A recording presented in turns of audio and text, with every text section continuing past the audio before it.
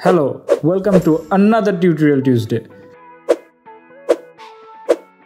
In this video, I am going to show you how to make Kurzgesagt style bird animation. Download this bird illustration for free, link in the description box below. So, let's get started.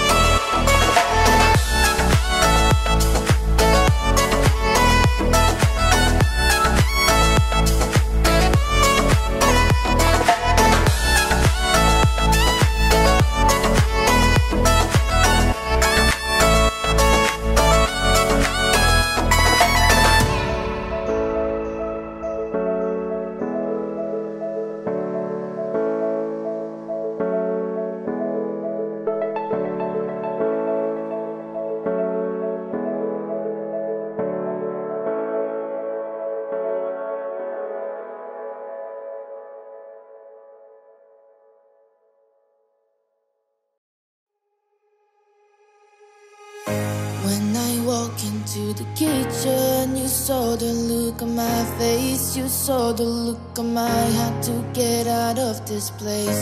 I seen something I've never seen before. When you put on the pineapple, we couldn't be friends anymore. Pineapple thousand, go on pizza. It's a,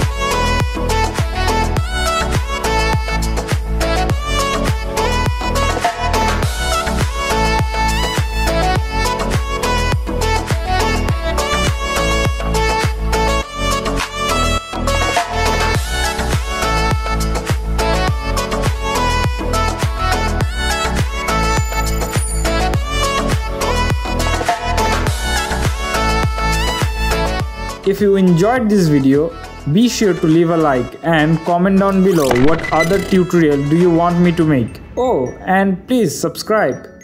Peace.